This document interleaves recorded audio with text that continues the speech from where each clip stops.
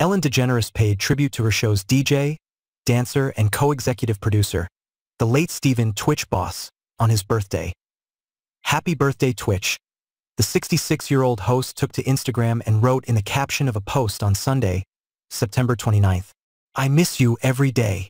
The photo was taken when Ellen DeGeneres honored Stephen, Twitch Boss with a heartfelt send-off as the Ellen DeGeneres Show concluded in 2022. Boss, who became DeGeneres Talk Show DJ in 2014 after getting famous on So You Think You Can Dance Season 4 and later got promoted to an executive producer, was found dead at the age of 40 at a Los Angeles hotel in December 2022.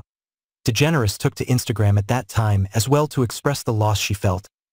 I'm heartbroken, she wrote in the caption of the post alongside a heartfelt picture of her and Boss embracing each other tightly. Twitch was pure love and light. He was my family, and I loved him with all my heart. I will miss him. Please send your love and support to Allison and his beautiful children Weslie, Maddox, and Zaia.